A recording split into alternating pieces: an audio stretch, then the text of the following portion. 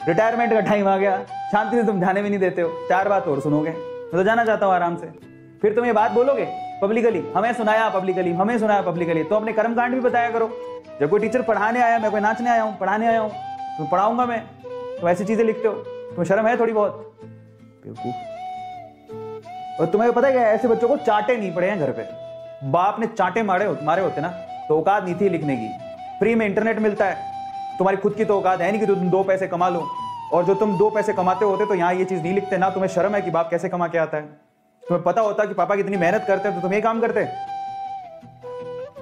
बेवकूफ़। बहुत मेहनत करते हैं पापा।